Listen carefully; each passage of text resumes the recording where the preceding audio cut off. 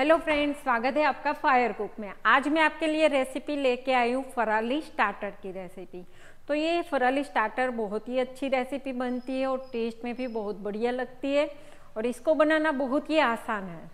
तो चलिए आज की रेसिपी स्टार्ट करते हैं और देख लेते हैं इंग्रेडिएंट्स साबूदाना का स्टार्टर्स बनाने के लिए मैंने लिया है यहाँ पे हाफ़ कप जितना साबूदाना। तो इसको हमें दो तीन पानी से वॉश कर लेना है। इसको मैंने दो तीन पानी से वॉश कर लिया है और अब वॉश करने के बाद में हमें इसके अंदर पानी ऐड करना है। तो देखिए फ्रेंड्स यहाँ पे कितना पानी ऐड करना है, वो भी मैं आपको दिखाती हूँ। तो यहाँ पे साबुदाना के लेवल से थोड़ा ही ऊपर हमें पानी ऐड करना है और इसको हमें दो घंटे के लिए रेस्ट देना है। तो देखिए फ्रेंड्स दो घंटे के बाद बहुत ही खिले खिले से साबुदाना बन के रेडी हो गए हैं।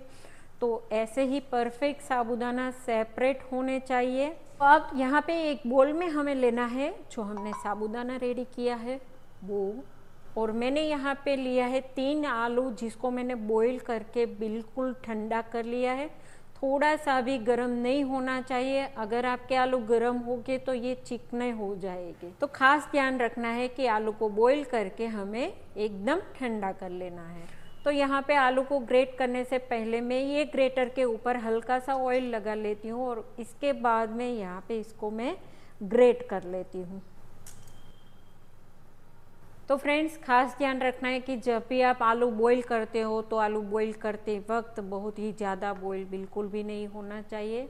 और जैसे आलू का धरती कम हो जाए और उसके अंदर पानी चढ़ जाए, ऐसा आलू बिल्कुल भी नहीं होना चाहिए। आलू ऐड करने के बाद में हमें ऐड करना है सारे मसाले। तो मैंने यहाँ पे लिया है वन टीस्पून जितनी green chilli paste, one teaspoon जितना जीरू, हाफ़ टी स्पून मरी powder, one teaspoon chilli flakes, one teaspoon sugar powder,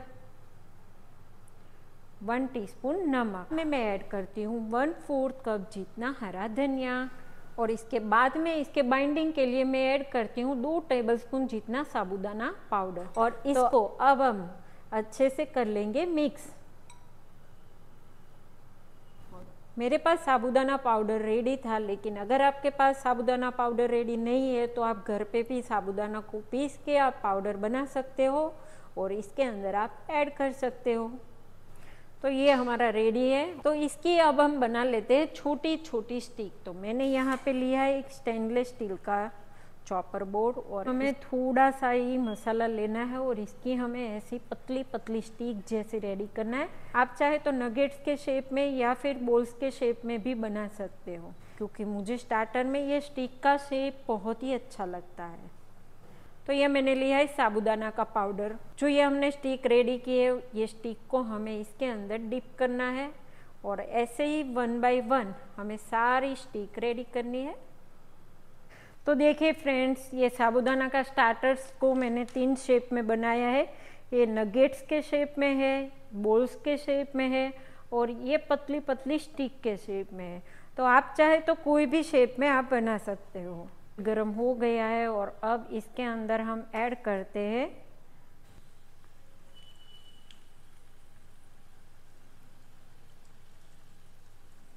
तो फ्रेंड्स, खास ध्यान रखना है कि गैस की फ्लेम मीडियम होनी चाहिए।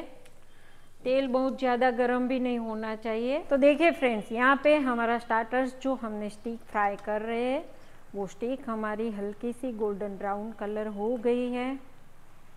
और अब इसको अब हम निकाल लेते हैं एक प्लेट में। ये बहुत ही क्रिस्पी हमारी साबुदाना फ्राइस बन के रेडी हुई है। आप देख सकते हो कि इसमें बहुत ही क्रिस्पी और कुरकुरी है और एकदम आवाज़ भी आ रही है। तो देखिए फ्रेंड्स, साबुदाना का स्टार्टर मैंने तीन शेप में बनाया है, राउंड बॉल्स, नगेट्स और स्टिक। तो अब इसका हम कर लेते हैं प्लेटिंग।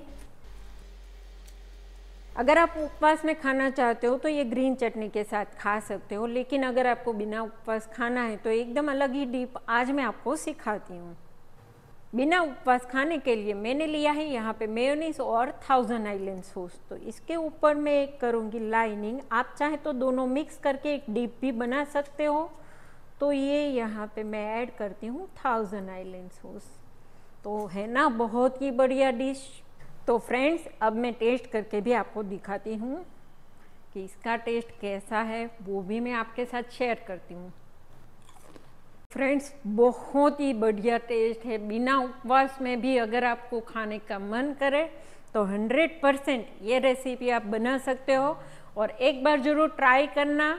और ये रेसिपी अच्छी लगे तो मेरी चैनल को लाइक शेयर और सब्सक्राइब करना मत भूलना। और बेल आइकन ज़रूर क्लिक करना। Thank you for watching my video.